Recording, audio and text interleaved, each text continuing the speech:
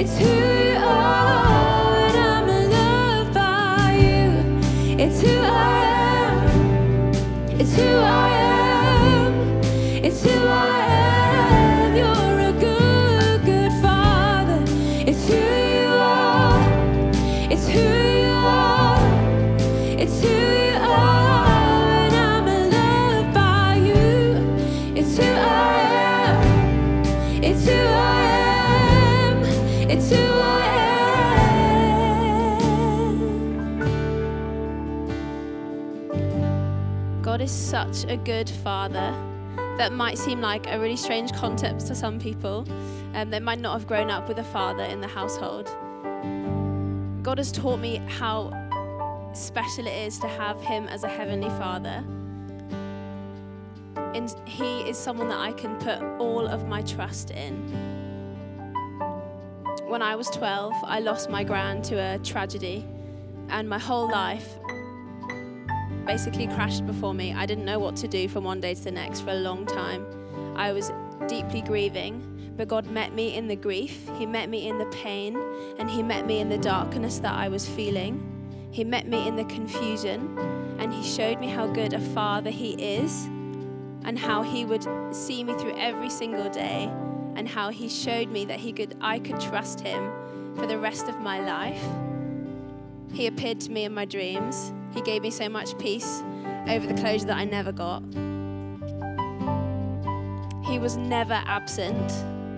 Through my confusion, I chose to praise Him and I chose to look to Him because I knew that He was the only one that I could put every single ounce of my trust in. He showed me that He was a good Father and He keeps to His word. He never turns away from us. He always stays close to us. He's closer than a whisper. And He whispered to me in my darkest night. He showed me how faithful a friend and a father He is. I'm so thankful for how faithful God was and is and will be for the rest of my life. And He is so perfect in everything He does.